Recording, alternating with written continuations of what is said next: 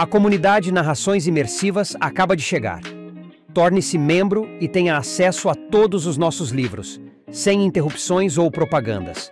E em formato de MP3, ouça diretamente da nossa plataforma no Hotmart. Por menos de uma Coca-Cola por mês, você assina nossa comunidade e apoia diretamente nosso trabalho. Não perca mais tempo e venha curtir mais uma forma de ouvir narrações imersivas. Link para assinar a comunidade na descrição ou no primeiro comentário fixado. Fique agora com mais um episódio imersivo.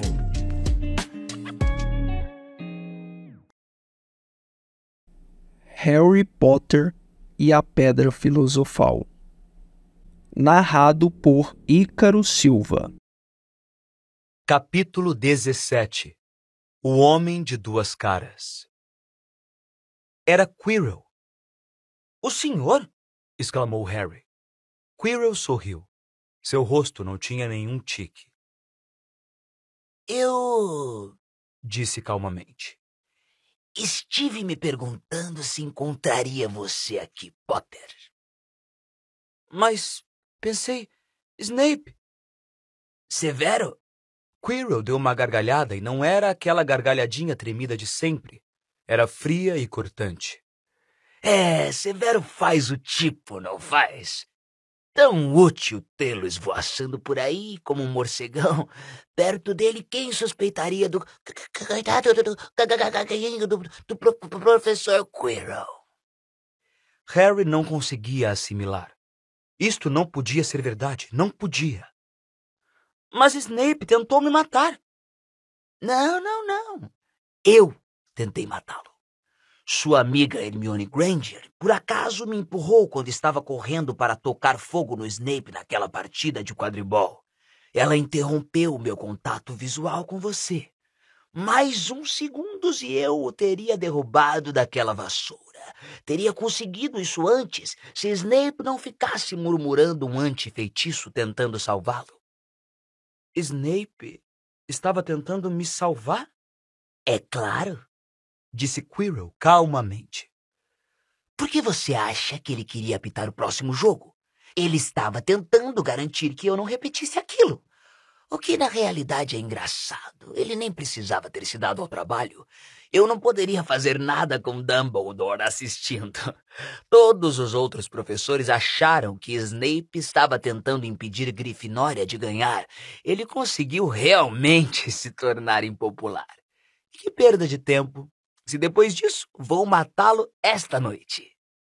Quirrell estalou os dedos. Surgiram no ar cordas que amarraram Harry bem apertado. Você é muito metido para continuar vivo, Potter. Sair correndo pela escola no dia das bruxas daquele jeito e, pelo que imaginei, me viu descobrir o que é que estava guardando a pedra. O senhor deixou o trasgo entrar? Claro que sim. Tem um talento especial para lidar com trasgos. Você deve ter visto o que fiz com aquele na câmara lá atrás. Infelizmente, enquanto o resto do pessoal estava procurando o trasgo, Snape, que já desconfiava de mim, foi direto ao terceiro andar para me afastar. E não só o meu trasgo não conseguiu matar você de pancada, como o cachorro de três cabeças nem sequer conseguiu morder a perna de Snape direito. Agora espere aí quieto. Preciso examinar este espelho curioso. Foi somente então que Harry percebeu o que estava parado atrás de Quirrell. Era o espelho de Ogezed. Esse espelho é a chave para encontrar a pedra, murmurou Quirrell, batendo de leve na moldura. Pode-se confiar em Dumbledore para inventar uma coisa dessas.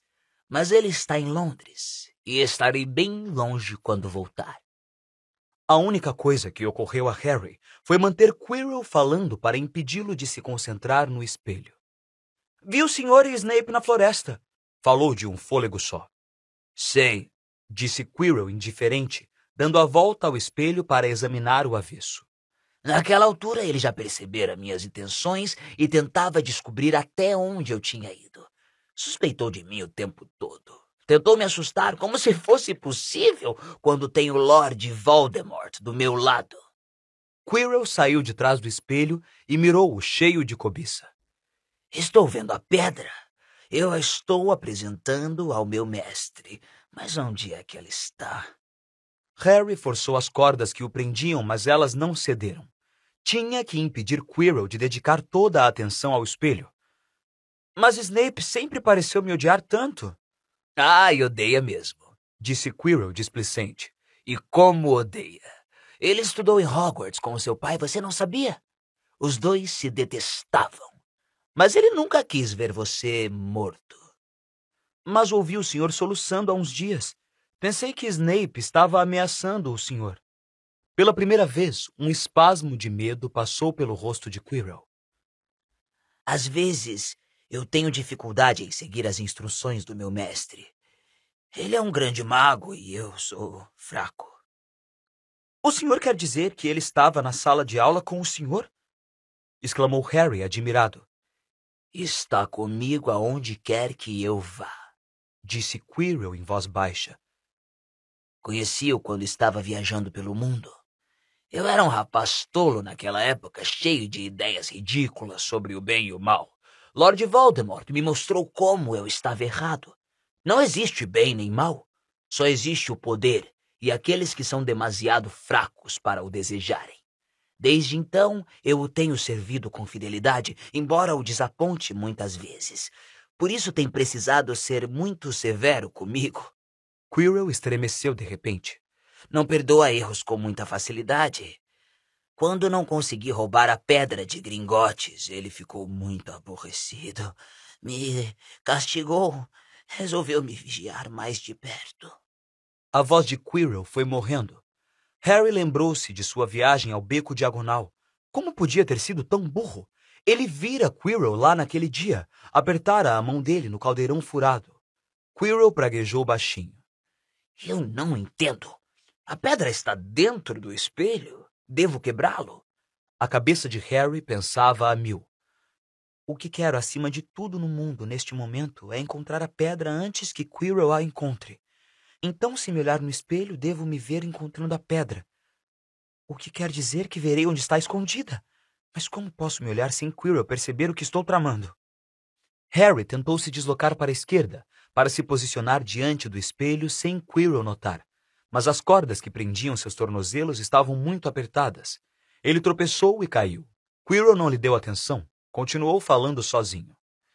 O que é que o espelho faz? Como é que ele funciona?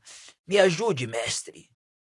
E para horror de Harry, uma voz respondeu, e a voz parecia vir do próprio Quirrell. Use o menino. Use o menino. Quirrell voltou-se para Harry. É. Potter, vem cá. E bateu palmas uma vez e as cordas que prendiam Harry caíram. Harry se levantou sem pressa.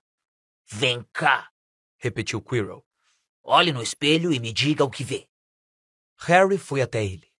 Preciso mentir, pensou desesperado. Preciso olhar e mentir sobre o que vejo, é isso. Quirrell aproximou-se de Harry pelas costas. Harry respirou o cheiro esquisito que parecia vir do turbante de Quirrell. Fechou os olhos, adiantou-se para se postar na frente do espelho e tornou a abri-los. A princípio, viu a sua imagem pálida e apavorada. Mas um segundo depois, a imagem sorriu para ele. Levou a mão ao bolso e tirou uma pedra cor de sangue. Aí piscou e devolveu a pedra ao bolso. E ao fazer isto, Harry sentiu uma coisa pesada cair dentro do seu bolso de verdade. De alguma forma, inacreditável, estava de posse da pedra. E então? perguntou Quirrell impaciente. O que é que você está vendo? Harry armou-se de coragem. Estou me vendo apertando a mão de Dumbledore, inventou. Ganhei o, o campeonato das casas para a Grifinória. Quirrell xingou outra vez. Saia do meu caminho, disse. Quando Harry se afastou, sentiu a pedra filosofal comprimir sua coxa. Será que tinha coragem para tentar fugir? Mas não dera cinco passos quando uma voz alta falou, embora os lábios de Quirrell não estivessem se mexendo. Ele está mentindo. Ele está mentindo. Potter, volte aqui! gritou Quirrell. Diga-me a verdade. O que foi que você acabou de ver? A voz alta tornou a falar. Deixe-me falar com ele. Cara a cara. Mestre, o senhor não está bastante forte. Estou bastante forte para isso. Harry se sentiu como se o visgo do diabo o tivesse pregado no chão. Não conseguia mover nenhum músculo. Petrificado, viu Quirrell erguer os braços e começar a desenrolar o turbante. O que estava acontecendo? O turbante caiu. A cabeça de Quirrell parecia estranhamente pequena sem ele. Então ele virou de costas, sem sair do lugar. Harry poderia ter gritado, mas não conseguiu produzir nenhum som. Onde deveria estar a parte de trás da cabeça de Quirrell, havia um rosto, o rosto mais horrível que Harry já vira. Era branco giz com intensos olhos vermelhos e fendas no lugar das narinas, como uma cobra. Harry Potter, falou o rosto. Harry tentou dar um passo atrás, mas suas pernas não obedeceram. Está vendo no que me transformei? disse o rosto. Apenas uma sombra vaporosa. Só tenho forma quando posso compartilhar o corpo de alguém. Mas sempre houve gente disposta a me deixar entrar no seu coração e na sua mente. O sangue do unicórnio me fortaleceu nessas últimas semanas. Você viu o fiel Quirrell bebendo por mim na floresta e uma vez que eu tenha o elixir da vida, poderei criar um corpo só meu. Agora, por que você não me dá essa pedra no seu bolso? Então ele sabia. A sensibilidade voltou repentinamente às pernas de Harry. Ele cambaleou para trás. Não seja tolo, rosnou o rosto. É melhor salvar sua vida e se unir a mim ou vai ter o mesmo fim dos seus pais. Eles morreram suplicando piedade. Mentira! gritou Harry inesperadamente. Quirrell estava andando de costas para ele de modo que Voldemort pudesse vê-lo. O rosto malvado sorria agora. Que comovente! sibilou. Sempre dei valor à coragem. É, menino, seus pais foram corajosos. Matei seu pai primeiro e ele me enfrentou com coragem. Mas sua mãe não precisava ter morrido, estava tentando protegê-lo. Agora me dê a pedra, a não ser que queira que a morte dela tenha sido em vão. Nunca! Harry saltou para a porta em chamas, mas Voldemort gritou: Agarre-o! E no instante seguinte, Harry sentiu a mão de Quirrell fechar-se em torno de seu pulso e, ao mesmo tempo, uma dor fina como uma agulhada queimou sua cicatriz. Parecia que sua cabeça ia se rachar em duas. Ele berrou, lutando com todas as forças, e, para sua surpresa, Quirrell largou-o. A dor em sua cabeça diminuiu. Ele olhou alucinado à volta para ver onde fora Quirrell e o viu dobrar de dor, examinando os dedos. Eles se enchiam de bolhas diante dos seus olhos. Agarre-o! Agarre-o! Esganiçou-se Voldemort outra vez e Quirrell investiu, derrubando Harry no chão, caindo por cima dele, as duas mãos apertando o pescoço do menino. A cicatriz de Harry quase o cegava de dor, contudo ele via Quirrell urrar de agonia. Mestre, não posso segurá-lo! Minhas mãos! Minhas mãos! E Quirrell, embora prendendo Harry no chão com os joelhos, largou seu pescoço e arregalou os olhos, perplexo para as palmas das mãos. Elas pareciam queimadas, vermelhas, em carne viva. Então mate o seu tolo e acabe com isso! guinchou Voldemort. Quirrell levantou a mão para jogar uma praga letal, mas Harry, por instinto, esticou as mãos e agarrou a cara de Quirrell. Ah! Quirrell saiu de cima dele, seu rosto se encheu de bolhas também, e então Harry entendeu. Quirrell não podia tocar sua pele sem sofrer dores terríveis. Sua única chance era dominar Quirrell, causar-lhe dor suficiente para impedi-lo de lançar feitiços. Harry ficou em pé de um salto, agarrou Quirrell pelo braço e segurou-o com toda a força que pôde. Quirrell berrou e tentou se desvencilhar. A dor na cabeça de Harry estava aumentando. Ele não conseguia enxergar. ouvia os gritos terríveis de Quirrell e os berros de Voldemort. Mate-o! Mate-o! E outras vozes, talvez dentro de sua própria cabeça, chamando Harry! Harry! Sentiu o braço de Quirrell desprender-se com força de sua mão. Teve certeza de que tudo estava perdido e mergulhou na escuridão, cada vez mais profunda. Alguma coisa dourada estava brilhando logo acima dele. O pomo!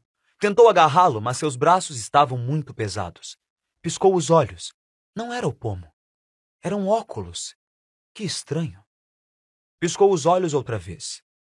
O rosto sorridente de alvo Dumbledore entrou em foco curvado sobre ele. Boa tarde, Harry, disse Dumbledore. Harry fixou o olhar nele. Então se lembrou. Professor! A pedra! Foi Quirrell! Ele apanhou a pedra! Professor, depressa! Acalme-se, menino. Você está um pouco atrasado. Quirrell não apanhou a pedra. Então quem apanhou? Professor, eu. Harry, por favor. Relaxe ou Madame Pomfrey vai mandar me expulsar. Harry engoliu em seco e olhou à sua volta. Percebeu que devia estar na ala do hospital. Achava-se deitado numa cama com lençóis de linho brancos e do seu lado havia uma mesa atulhada do que parecia ser a metade da loja de doces. Presentes dos seus amigos e admiradores, esclareceu Dumbledore sorrindo. Aquilo que aconteceu nas masmorras entre você e o professor Quirrell é segredo absoluto. Por isso, é claro, a escola inteira já sabe. Acredito que os nossos amigos, os senhores Fred e George Weasley, foram os responsáveis pela tentativa de lhe mandar um assento de vaso sanitário. Com certeza acharam que você ia achar engraçado. Madame Pomfrey, porém, achou que poderia ser pouco higiênico e o confiscou. Há quanto tempo estou aqui? Três dias. O Sr. Ronald Weasley e a Srta. Granger vão se sentir muito aliviados por você ter voltado a si. Estavam muitíssimo preocupados. Mas, professor, a pedra. Já vi que você não se deixa distrair. Muito bem. A pedra o professor Quirrell não conseguiu tirá-la de você. Cheguei a tempo de impedir que isto acontecesse. Embora você estivesse se defendendo muito bem sozinho, devo dizer. O senhor chegou lá? Recebeu a coruja de Hermione? Devemos ter cruzado no ar. Assim que cheguei a Londres, tornou-se claro para mim que o lugar onde deveria estar era aquele de onde acabara de sair. Cheguei a tempo de tirar Quirrell de cima de você. Então, foi o senhor. Receei que tivesse chegado tarde demais. Quase chegou. Eu não poderia ter mantido Quirrell afastado da pedra por muito mais tempo. Não da pedra, menino. De você. O esforço que você fez quase o matou. Por um instante terrível, receei que tivesse matado. Quanto à pedra, ela foi destruída. Destruída? exclamou Harry sem entender. Mas o seu amigo, Nicolau Flamel. Ah, você já ouviu falar no Nicolau? perguntou Dumbledore, parecendo encantado. Você fez mesmo a coisa certa, não foi? Bom, Nicolau e eu tivemos uma conversinha e concordamos que assim era melhor. Mas isto quer dizer que ele e a mulher vão morrer, não é? Eles têm elixir suficiente para deixar os negócios em ordem e então. É, eles vão morrer. Dumbledore sorriu ao ver a expressão de surpresa no rosto de Harry. Para alguém jovem como você, tenho certeza de que isto parece incrível. Mas para Nicolau e Perenelle, na verdade, é como se fossem deitar depois de um dia muito, muito longo. Afinal, para a mente bem estruturada, a morte é apenas a grande aventura seguinte. Você sabe, a pedra não foi uma coisa tão boa assim. Todo o dinheiro e a vida que a pessoa poderia querer. As duas coisas que a maioria dos seres humanos escolheriam em primeiro lugar. O problema é que os humanos têm o condão de escolher exatamente as coisas que são piores para eles. Harry ficou ali deitado, sem encontrar o que responder. Dumbledore cantarolou um pouquinho e sorriu para o teto. Professor, disse Harry. Estive pensando, professor. Mesmo que a pedra tenha sido destruída, Vol. Quero dizer, o senhor sabe quem? Chame-o de Voldemort. Sempre chame as coisas pelo nome que têm.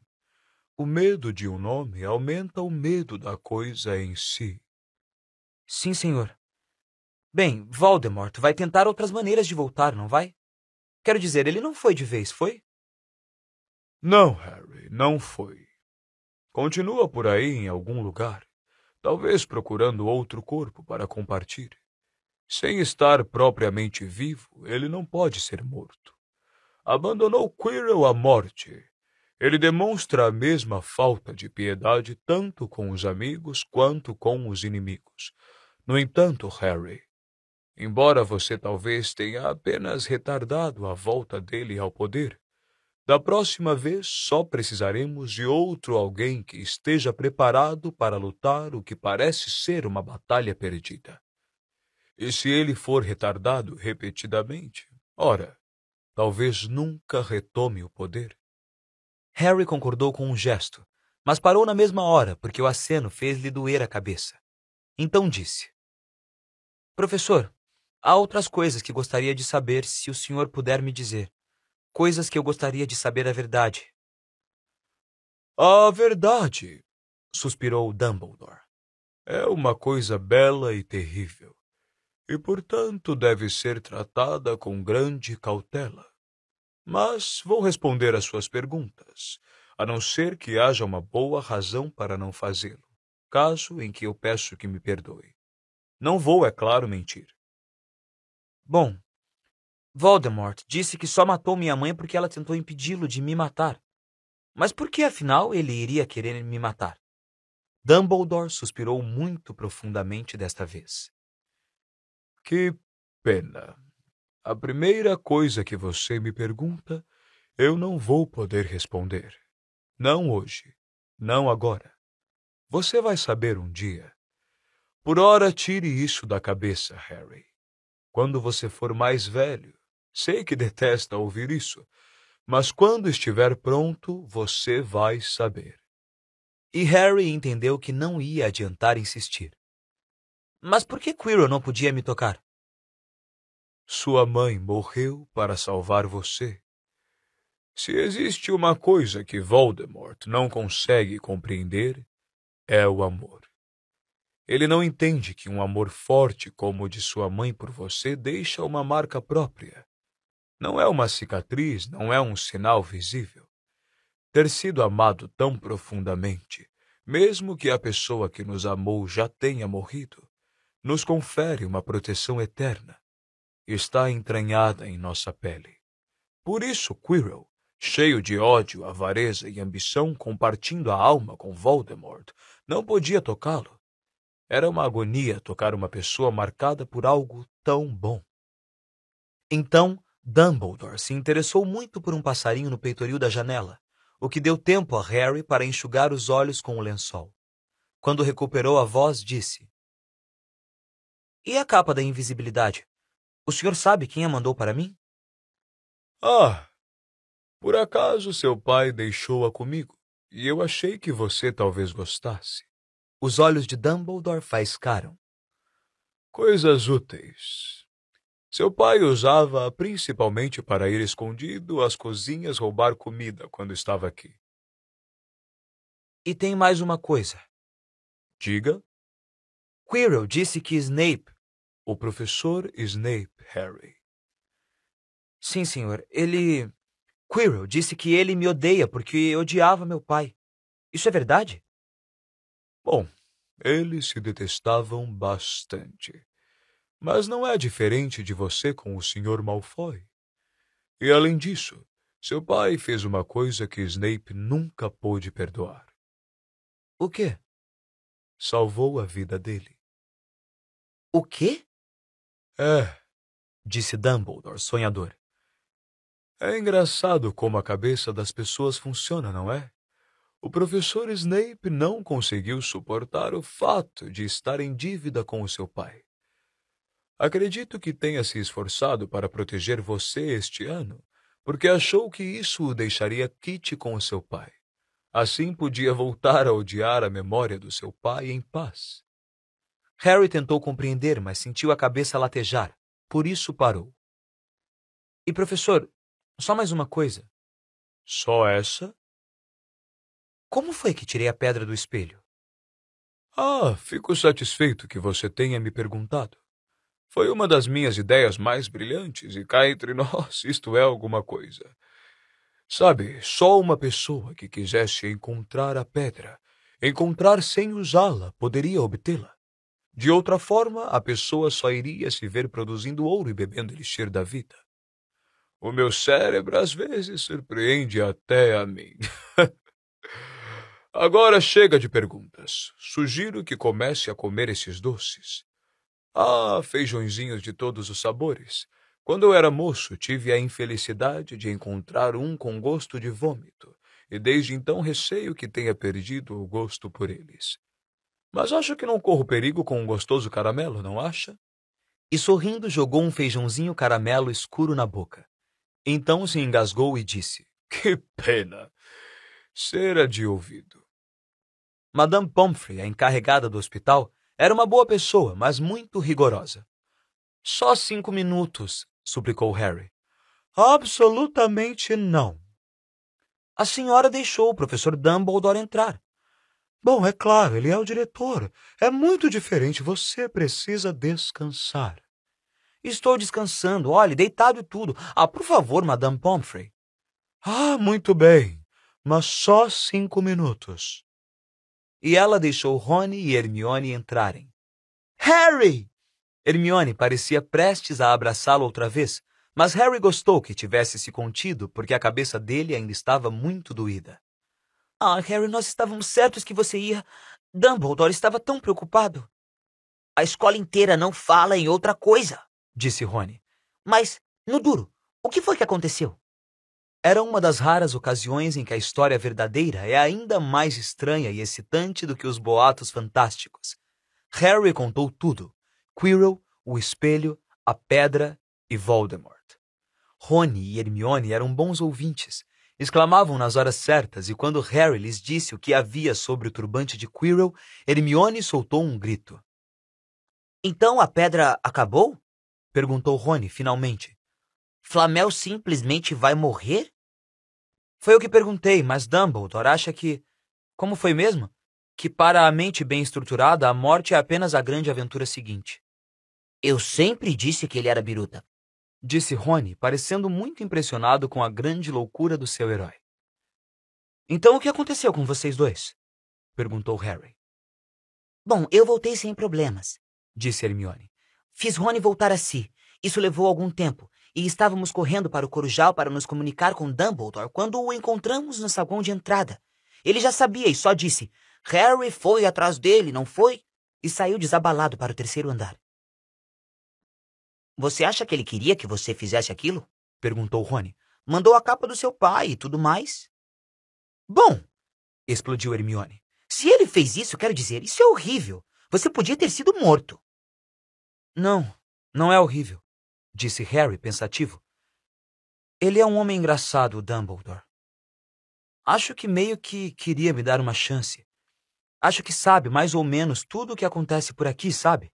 Imagino que tivesse uma boa ideia do que íamos tentar fazer e, em lugar de nos impedir, ele simplesmente ensinou o suficiente para nos ajudar. Não acho que tenha sido por acaso que me deixou descobrir como o espelho funcionava. Era quase como se pensasse que eu tinha o direito de enfrentar Voldemort se pudesse. É, a marca de Dumbledore, com certeza, disse Rony orgulhoso. Olhe, você precisa estar bom para a festa de fim de ano amanhã. Os pontos já foram todos computados e Sonserina ganhou, é claro. Você faltou ao último jogo de quadribol. Fomos estraçalhados por Corvinal sem você. Mas a comida vai ser legal. Nesse instante, Madame Pomfrey rompeu no quarto. Vocês já estão aí há quinze minutos. Agora, fora! Disse com firmeza. Depois de uma boa noite de sono, Harry se sentiu quase normal.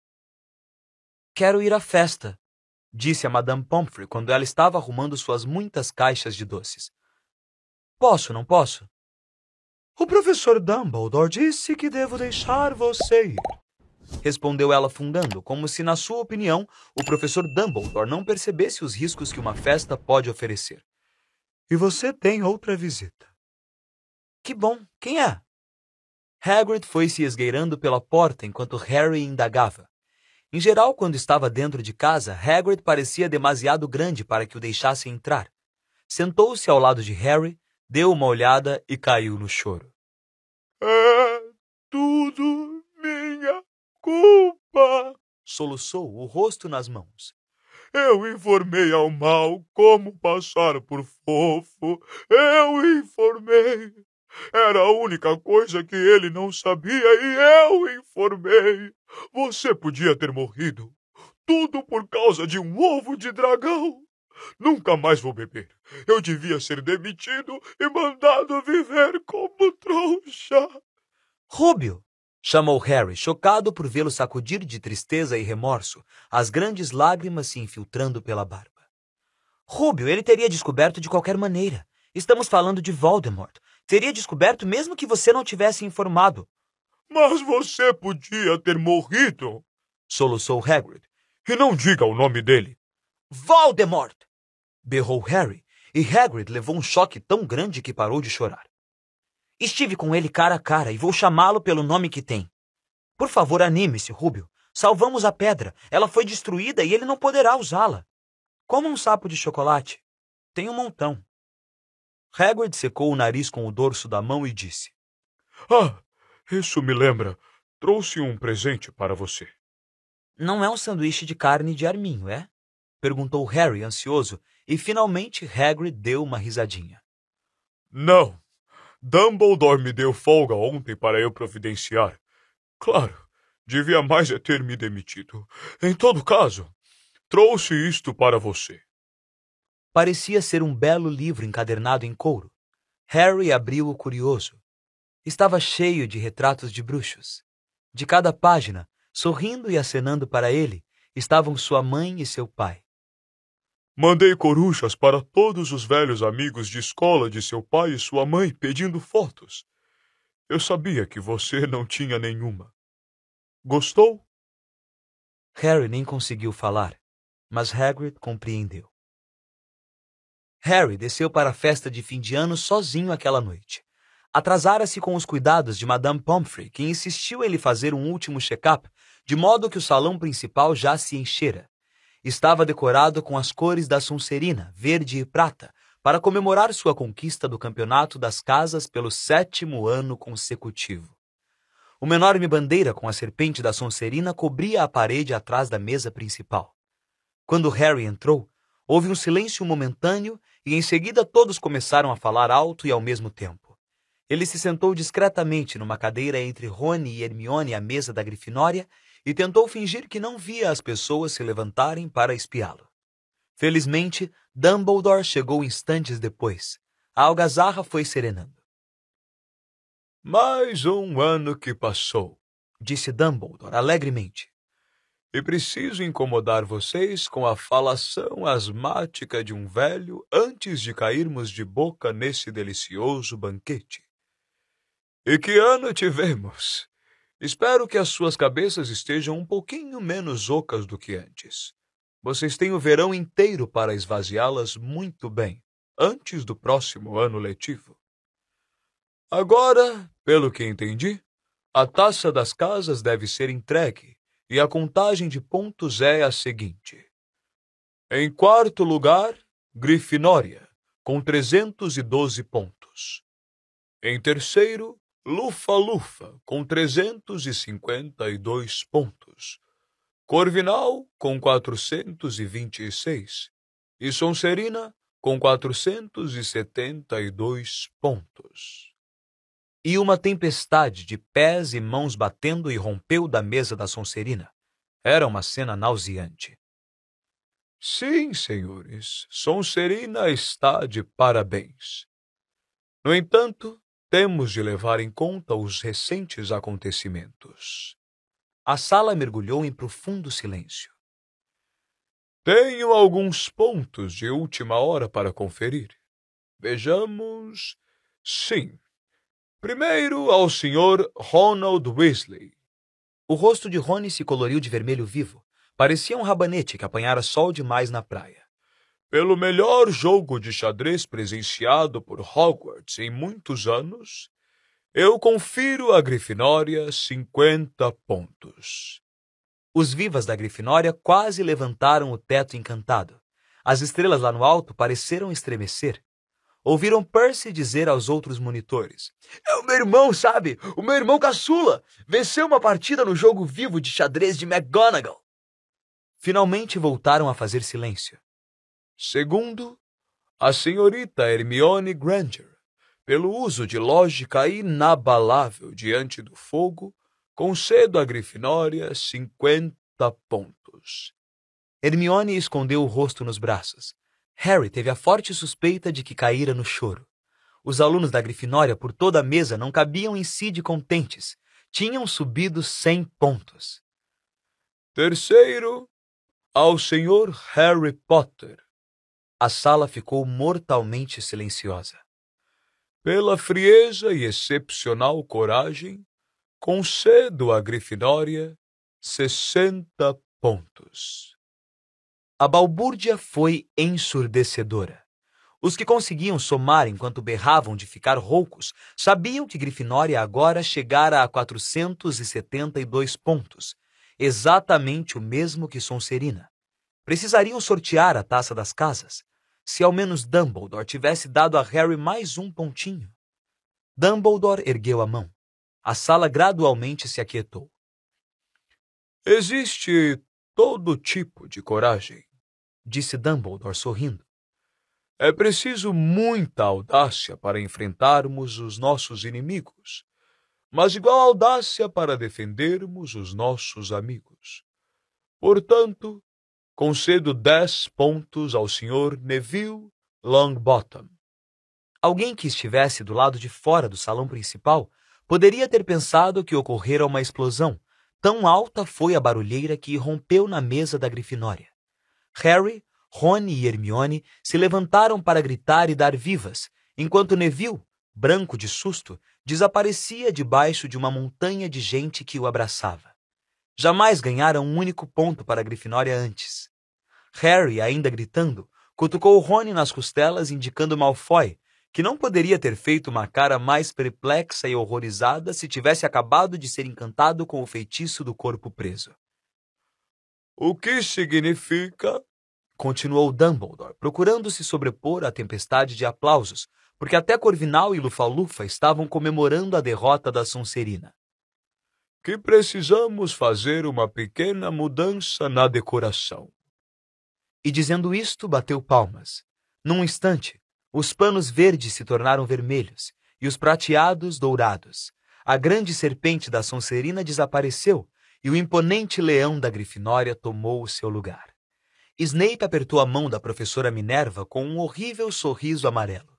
Seu olhar encontrou o de Harry e o menino percebeu no mesmo instante que os sentimentos de Snape com relação a ele não tinham mudado nem um pingo. Isto não o preocupou.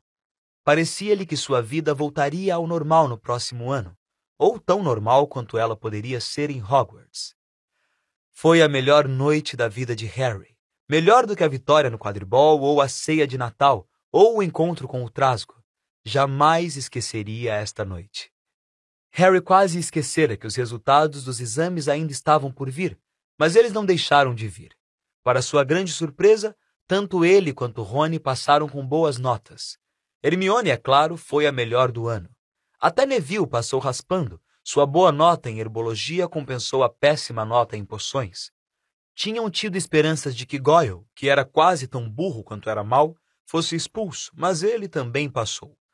Foi uma pena, mas, como disse Rony, não se podia ter tudo na vida. E de repente, seus guarda-roupas ficaram vazios, os malões arrumados, o sapo de Neville foi encontrado escondido em um canto do banheiro.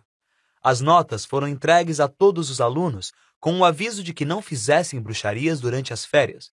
Eu sempre tenho a esperança de que eles se esqueçam de entregar as notas e o aviso, lamentou Fred Weasley.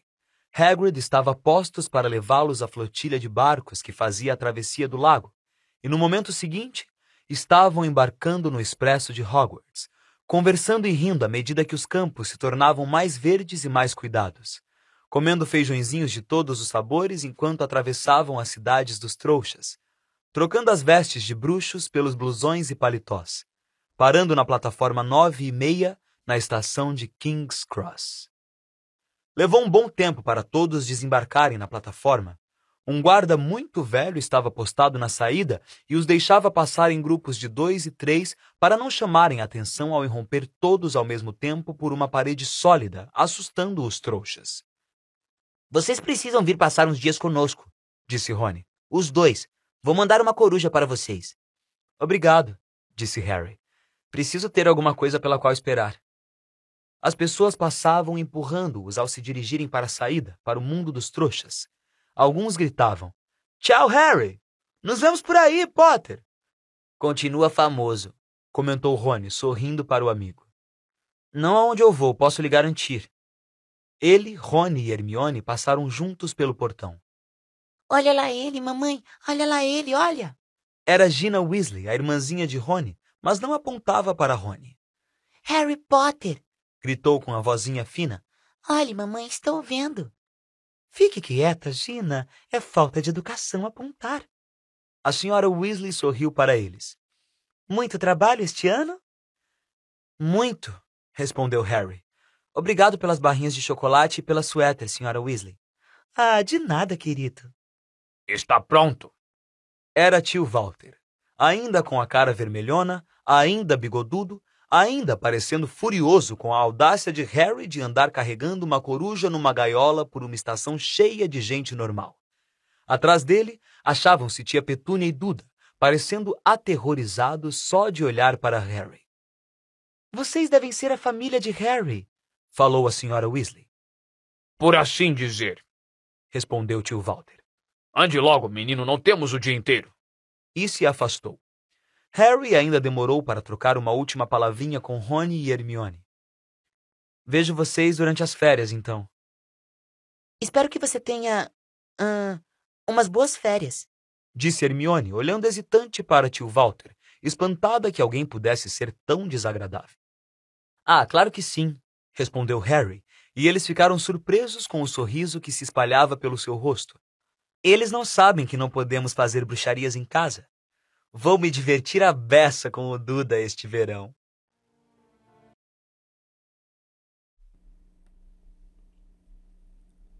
Você acaba de ouvir o primeiro livro da saga, Harry Potter e a Pedra Filosofal, lida por Ícaro Silva.